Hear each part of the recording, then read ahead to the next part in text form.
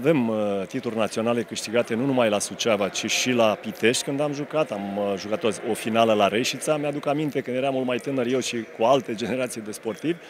Dar uh, e, așa cum ați văzut, o competiție deschisă oricărui rezultat. Uh, lucrurile au fost uh, la un moment dat foarte neclare, nesigure în ce ne privește ca și câștigătoare. O echipă a Universității din Pitești care a arătat că dorește să lupte și să-și apere statutul ei sau statutul lor de jucători, studenți la o universitate de care sunt mândri și îi felicit, de altfel cum felicit pe toți cei care au participat la această competiție.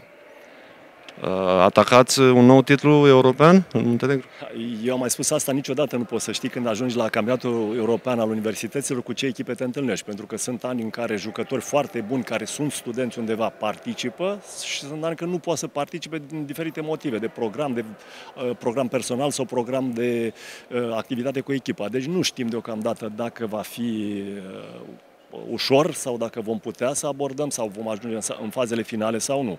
În orice caz, important este că am ajuns la o fază finală europeană a universităților, la un sport pe care noi îl respectăm și care la noi deja are tradiție și sperăm acolo un loc cât mai bun și în funcție de starea pe care o să aibă jucătorii noștri și momentul și adversarii pe care îi vom avea după trageri la sorți.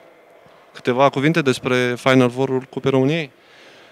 Da, putem vorbi și despre asta. Vedeți că în timp ce vom juca cu Constanța, știm asta, dar uh, nu am putut să ne gândim la Constanța deloc, pentru că și astăzi a fost un meci încins. Uh, avem uh, doar mâine un antrenament de pregătire a jocului, însă, așa cum știți, niciodată nu poți să spui niciodată, avem speranțe într-o comportare cât mai bună acolo. Asta e clar. Dar uh, toți adversarii sunt clasați peste noi și, evident, sunt cotați peste noi din toate punctele de vedere. Poate tocmai de aceea e frumoasă Cupa României sau asemenea competiții cum sunt universitarele.